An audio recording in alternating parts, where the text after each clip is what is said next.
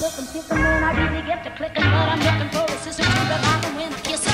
If you want some just let me know.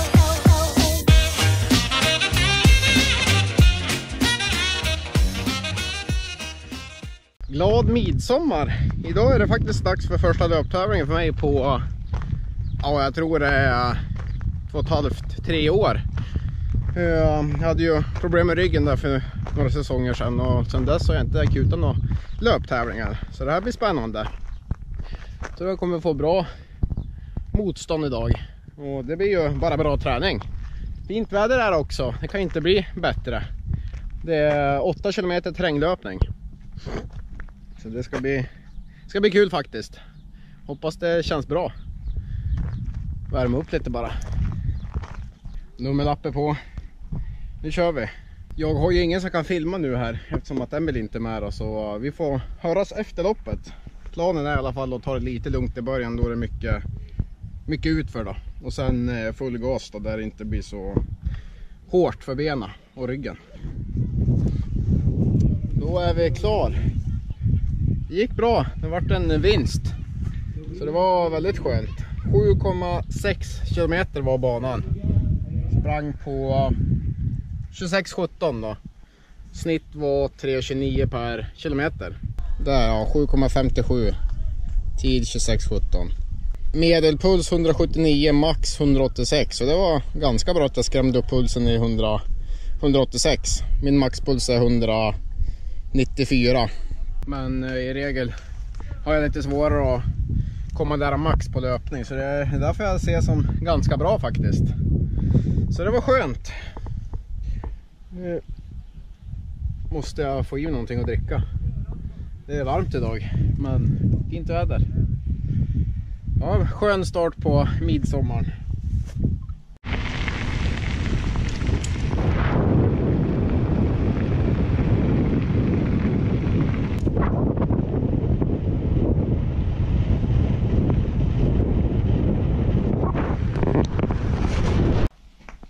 Mina ben är lite seg sen igår. Kändes nu på cykelpasset men det gick ändå helt okej. Avstod löpning idag då. Just för baksida lår och vader känns ganska rejält faktiskt. Men eh, eh, ja, det funkar ändå. Så det blev en fin cykeltur i värmen. Eh, 1.45 blev det ungefär. Cykla är nog faktiskt bland det bättre när det är så här varmt. Och kajak skulle jag nog säga.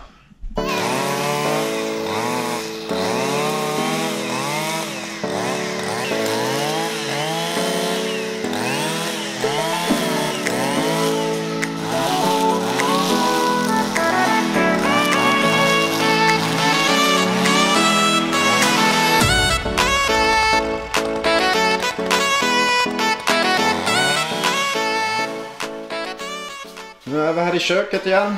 Golv har bara lagts, det är inte mycket kvar nu.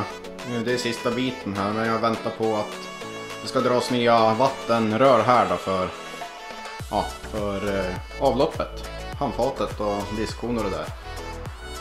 Och diskmaskin där då. Så sen kan vi ju lägga sista raden med golv här och börja ställa in stommarna då. Där sitter ju golvvärmefördelaren. Eh, Eh, så den går inte att göra någonting åt faktiskt. Det är ju ingenting man bara flyttar hur som helst. Men där ska det ju stå ett eh, skafferiskåp då, så man får ju täcka de rören med, med skåp då. Egentligen hade det varit optimalt hade det ju där suttit i tvättstugan där borta. Men som sagt det är ju ingenting man flyttar bara hipp som happ nu eller då måste man ju riva ut allting, hela golvet. Nu håller jag på ska spackla den här gipsväggen här. Den här ska ju målas då med samma färg som inne i vardagsrummet. Dock så hade jag lite för bråttom när jag höll på här förut. Nu ska vi se här. Här. Jag hade satt de här gipsskivorna alldeles kluss i taket, alldeles tight liksom. Så när taket satte sig lite så tryckte jag ner som gipsskivan och började sprack här. Plus att det satt en, eh, eller jag hade satt eh, eh, aluminiumhörnlister här. Och då hade ju den börjat tryckt, tryckt ner listen också så att det började sprack här under. Så skruvarna började komma fram. Så där fick jag slipa upp och skruva i lite extra skruvar och allt sånt där då och fått laga. Nu ska jag limma på en pappremsa här i, ja där det sprack då. Och sen spackar jag över. Jag hade ju inte hunnit börja måla här än så det spelade ju inte så stor roll då. Så lite spackling här, slipning och sen kan vi måla den här väggen. Och eh, så kan jag börja slå upp lite pärlspont. Här ska det, det blir, börjar ju... Här blir det ju, börjar ju pärlsponten då. Så kan vi ju börja slå upp den då här. Så det går framåt. Det här är spackel från Byggmax. Billigt. Jag tror den här kostar ja, knappt 200 kronor. Jag testade faktiskt väldigt många olika spackel när jag höll på att spackla vardagsrummet. Jag tror jag hade fyra eller fem olika märken och faktiskt var det här ett av de bättre. Trots att det var billigast.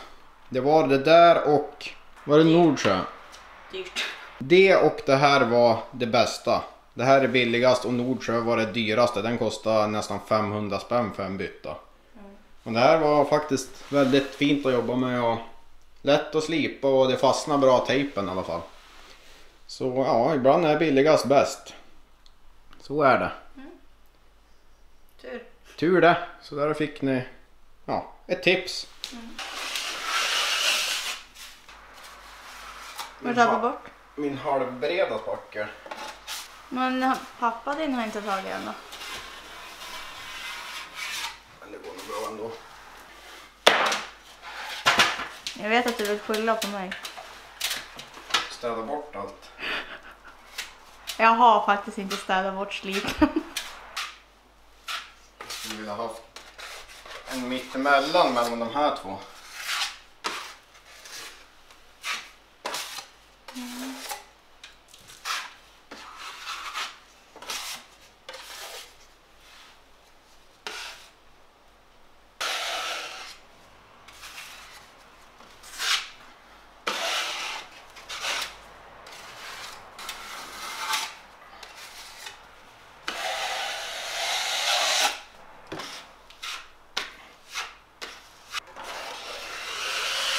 Välsedopp. För varmt för att duscha nu så nu är det dags att bada. Jag har precis kört lite styrka. Jag tränar lite senare än vanligt. Så det inte var så himla varmt. Så nu är det bad som sagt. Tvätta av sig lite.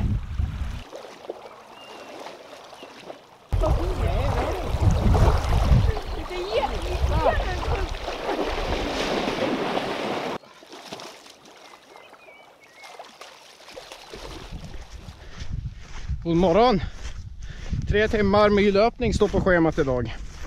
Det är tisdag, jag är fortfarande lite stel och ja, lite stel framförallt i vaderna sen eh, löptävlingen då. Och eh, myr, myrlöpning är ju perfekt just för att det är skonsamt. Och du behöver inte alls springa så fort för att det ska bli jobbigt. Det är grymt bra träning. Så så är det. Som sagt tre timmar. Har med mig ryggsäck idag så att man får med sig lite mer vätska nu när det är så varmt. Då. Så det är gött. Så vi ska väl knata på.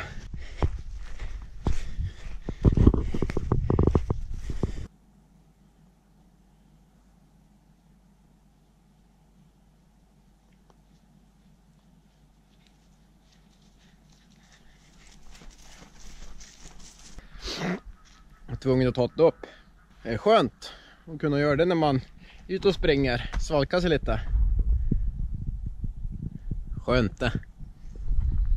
Nu har jag bara hälften kvar, nu ska jag vända hem. Nu är vi klar. Skönt.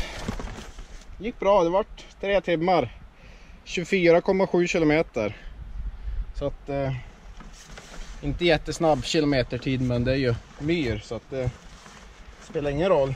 Ska jag hem och käka och sen eh, sova lite och sen eh, redigera den här vloggen så vi kan få upp den. I eftermiddag ska jag väl eh, åka rullskidor tror jag.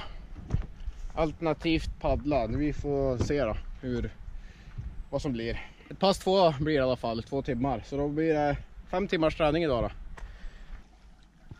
Det blev kajak. Jag kom på att jag har ett långpass klassiskt imorgon. Eller surfski som det heter.